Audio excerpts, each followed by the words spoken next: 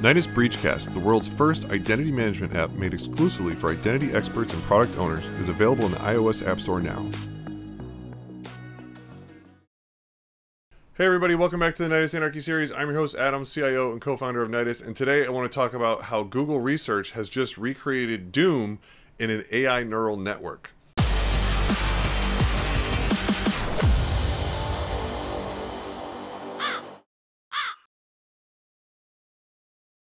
So they didn't just take the WAD file and have AI play the game.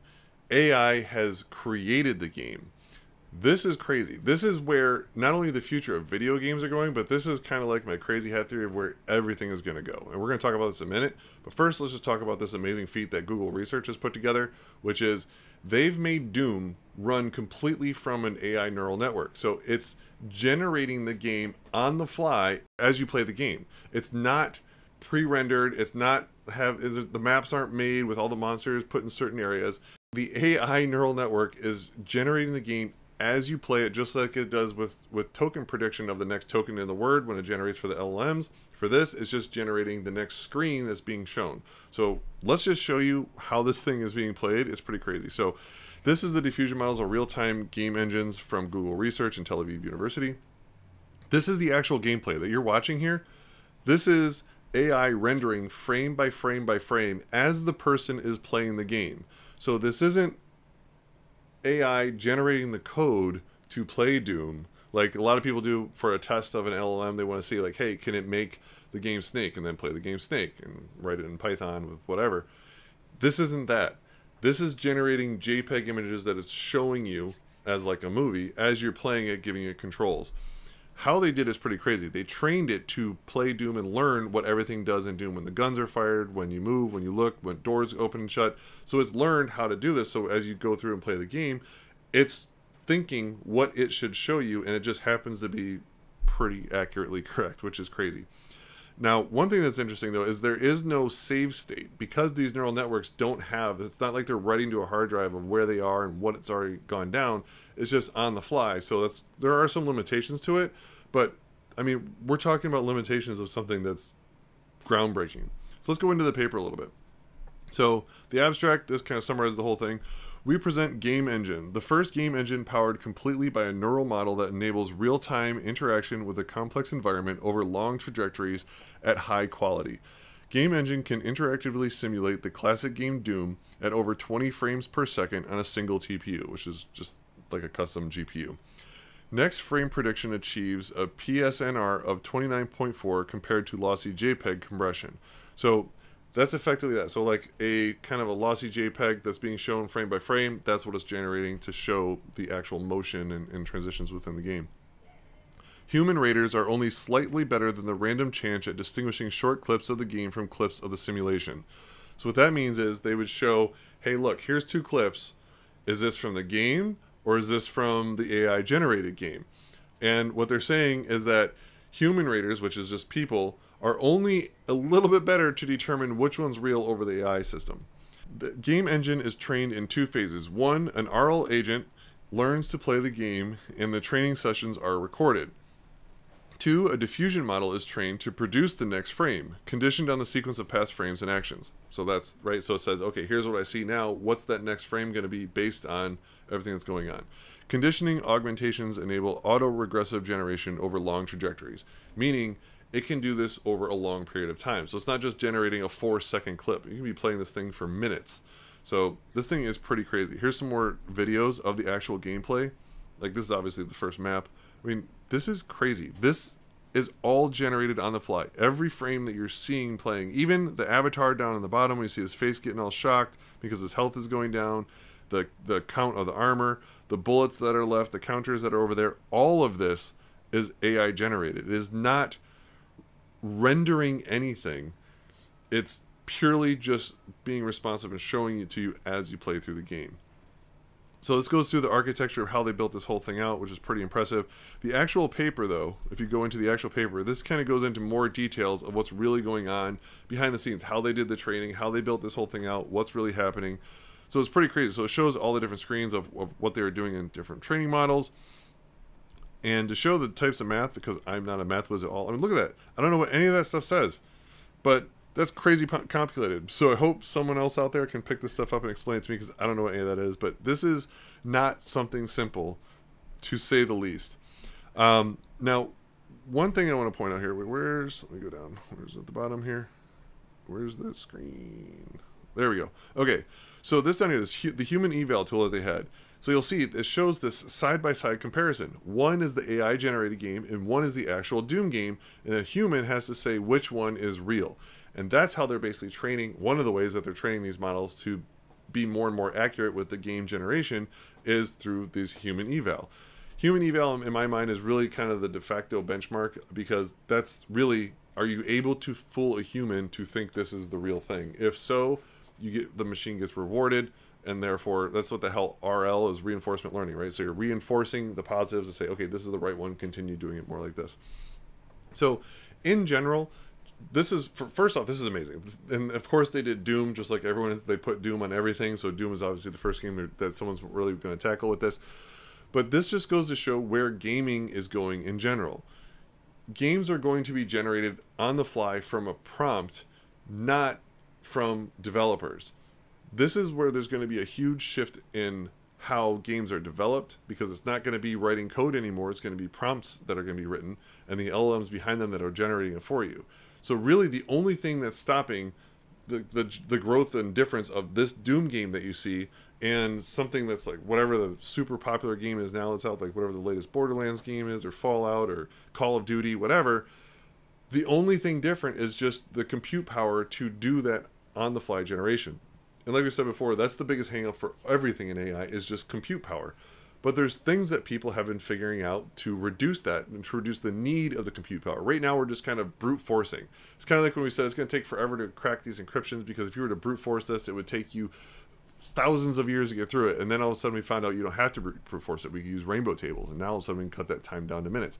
So different hacks have been coming out, like another one here like hallucinations right? Hallucinations is something that you want to remove. So when you watch the video gameplay you'll actually see like some kind of glitchy stuff happening here. So like if you watch like the guy's face you can see some pixels kind of moving around a little bit.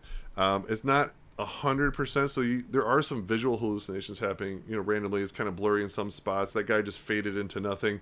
So hallucinations are taking place. But if you saw the previous video where we were talking about a whole different way to fine tune your model and they have pretty much completely eliminated hallucinations from this refinement. They if something like that was incorporated here, you'd have an even better game with less compute power because you just have a better, finely tuned model for what it is that you're trying to generate.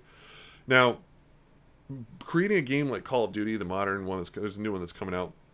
I think Black Ops was it six that we're at now. Um, you know the graphics are going to be insane, gameplay is going to be crazy. So it's all still technically possible. It's just that the compute power that you would need to generate that on the fly is just astronomical. And so for us, it's like that's impossible. But I'm old enough to remember when Doom came out. And when Doom came out, all of us were hacking our computers just to get Doom to run because this was so far advanced that most of our computers couldn't run it. So you had to do all kinds of weird stuff with memory and your hard drive space and just zipping it, learning zip and compression to get the files around. So we had to effectively kind of like today's overclockers, we had to really mess with the machines just to get them to run Doom to run it, not even look good, just to run it because it was so far advanced of most of the computers that were out at that time. So if you were to go to, you know, my, what, how was I? Probably what, 13, 14, whenever this thing came out. If I were to go to like, let's say my 14 year old self and be like, hey, and show me a video of Call of Duty today, I'd be like, that's never going to happen. It's impossible we're there and it's happening on game consoles and we can stream play and play people around the world real time and talk to them that was before like doom 2 was where we had that whole like you know being able to do multiplayer but like so but doom was still single player so like on the single player side it was just that's not possible the, the compute power would be so astronomical i couldn't even wrap my head around it that's where we're at now. We're just doing it from the AI side. So, are we going to have that compute power? Are we going to figure out how to get there? Absolutely. It's just a matter of time. And with all this advent of technology with AI helping us, it's probably going to be a lot shorter time than it took to get from what 30 years ago to here. It's probably going to be within 10 years that we're going to have this type of realistic Call of Duty rendered on the fly. The fun part about all of this is that we're going to have uniquely generated games based on what you want to play. So we would be able to generate a game that I can say like, hey, I want to play Doom, but I want to have it with Super Mario characters and it's going I want it to then flip into a 2D side scroller halfway through the game for no apparent reason and then randomly be abducted by UFOs, but I can throw my contra baddies out there to deflect the UFOs. And it will I will be able to play that game on the fly with all that crazy stuff going on. It'll make it just for me, and I'll think it's amazing. Or I could fine tune it to where I have a really cool game, and then just distribute that prompt to my friends or other people, put them online in GitHub, or there's probably going to be communities out there where that's all they do is just distribute prompts for really cool games that people have figured out, kind of like how they do now for image generation. And then you're going to be able to play really awesome games that were catered just to you for the game that you want to play. And we're really not far off from that. I mean, if you think about it, first we had the whole text, like the LLM. I ask a question, it generates a response. Then we get the code responses. Then we have text to images. So you say, hey, generate me an image of whatever. Now look at what Flux One is doing. Flux One Dev locally can make astronomically amazing images on your machines locally at home. We did a whole video about that and showed you how to set that all up with Comfy UI if you want to check that out. Then from there, you take an image and you throw it into something like Runway ML, and now it turns that image into a video. And that video looks amazing. It looks really good. It generates on the fly and it's super fast. And it's not rendering it, it's generating it, right? So there's not all that compute power of, of on the fly rendering is no longer a thing.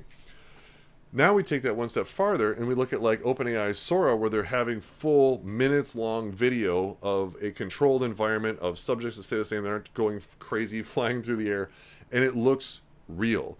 It looks very real.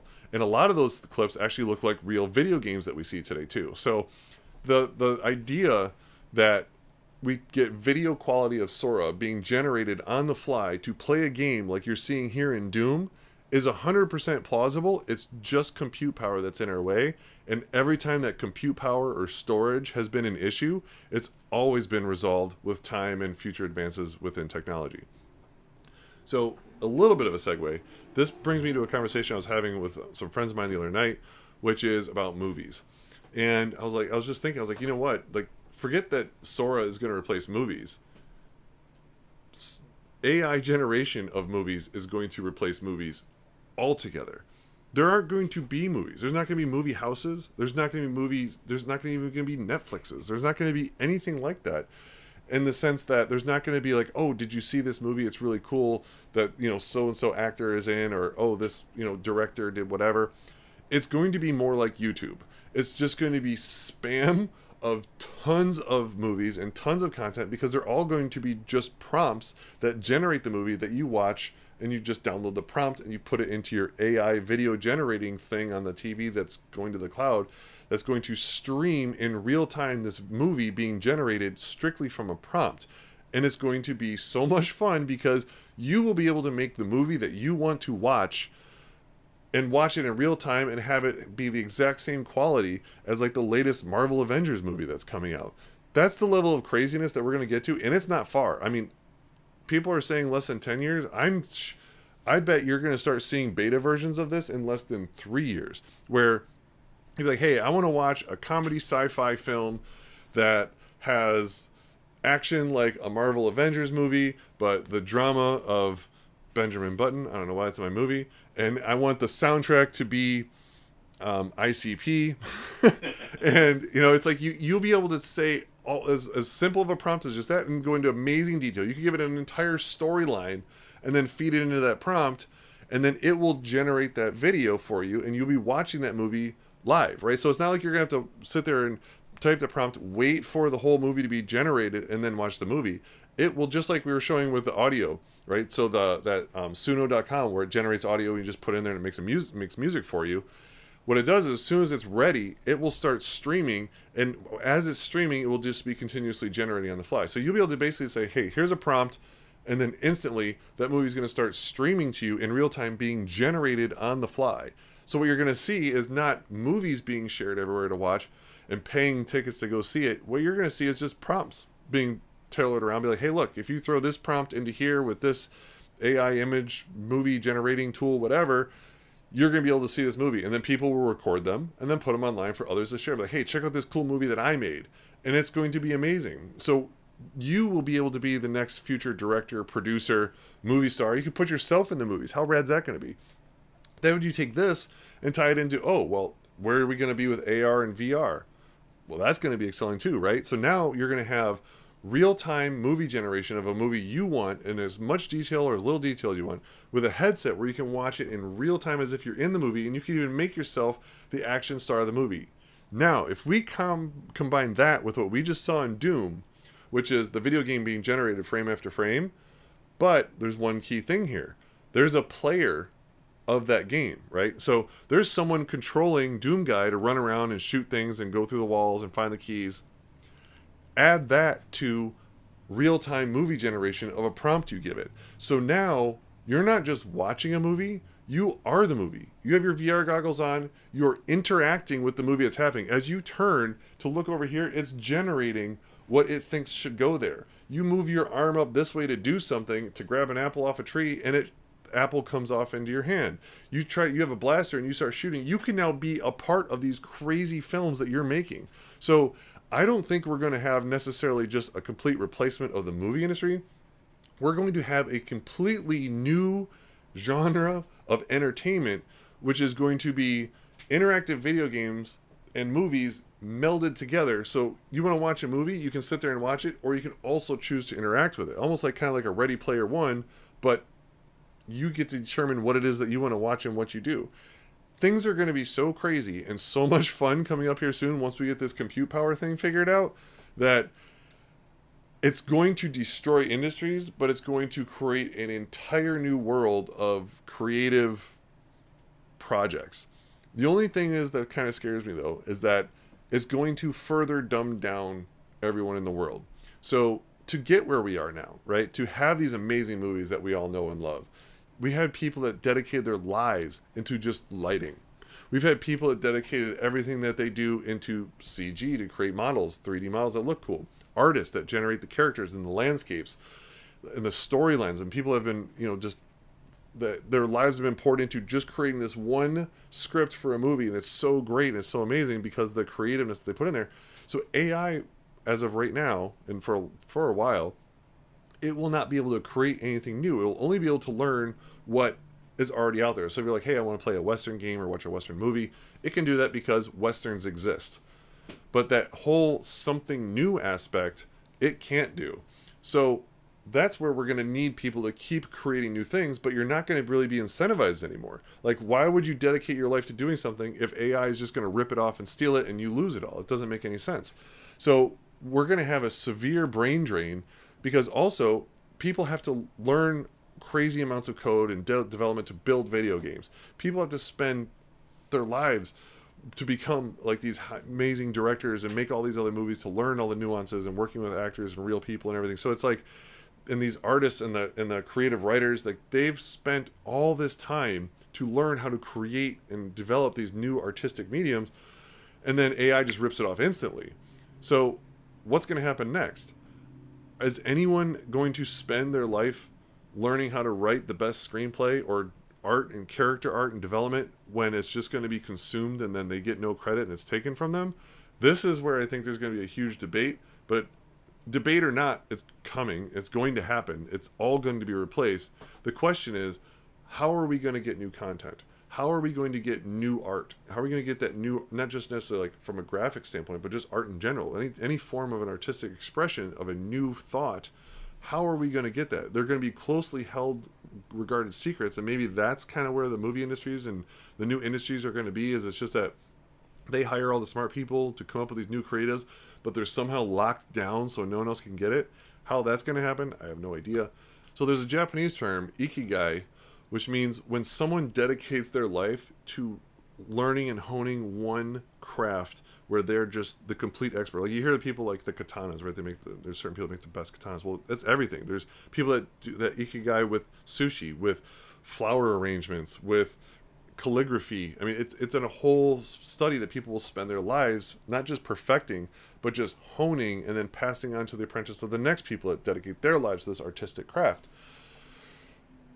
I don't know how that's going to happen anymore. So I feel we're just going to have everyone living off of what we've kind of already created to this point, and that's going to be like 90% of everything out there is just rehashed stuff that already exists but new creative artistic expression I think is going to become more rare, which to me is kind of a downside because that's really what is enticing about a good movie is that someone has come up with an amazing, cool storyline that you know I didn't think of. With oh look at that twist, no one saw that coming, and it makes it exciting, right? Or you know some a painting just on your wall, and they've come up with a new form or a new way. Like look at Alex Grey and his crazy, obviously tied in with psychedelics, but that's a whole new form of art. Or H.R. Giger, one of my favorite artists. Just these artistic expressions, they we need to figure out a way to save them and encourage more people to keep generating new types of artistic content in all variations of platforms.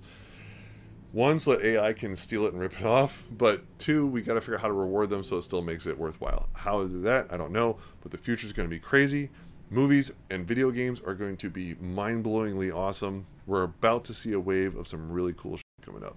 So I'd love to hear your thoughts. If you're in the artistic side of the world of any of this stuff, I'd love to hear what are you seeing? What are the rumblings in your community, like within your industry? What are people talking about? And not just like, oh, I want to preserve the right to my face, but like, you know, five years from now, ten years from now, when we're at this level, like we're talking about now, where are you where are you guys going to be? How do you protect your industry? How do you protect your creative rights? I would love to know if you're if you're part of that industry in, in any way, shape, or form. I'd love to talk to you and get your opinions on it because it's going to happen and i think that conversation really needs to start now and, and we need to start having that conversation about what's going to happen a lot later from now and not just what's happening right now because right now is already over like people that were trying to protect their faces a year ago too late. It's gone. We need to think protections from a lot more of a larger perspective. And uh, i don't know how to do that but i'm really curious to see if you do. So if you have any ideas let me know. I'll see you around Nyedis has just created the first iOS app made exclusively for identity management professionals. It's called Nyedis Breachcast, and you can download it now. It's amazing. We have real time updates of all the latest breaches that are occurring, CVEs as they come out real time, really pertaining just to identity management. We have media that's going on this podcast. We're going to be bringing in a lot more others as well. And we even have a complete vendor list of all the identity management vendors and all their products so you can find out exactly where to download their software, all the documentation. And what's even more awesome is an identity management glossary. All those crazy words and acronyms that we can never remember, they're all listed in there for you. No ads, just pure information to make your life simple.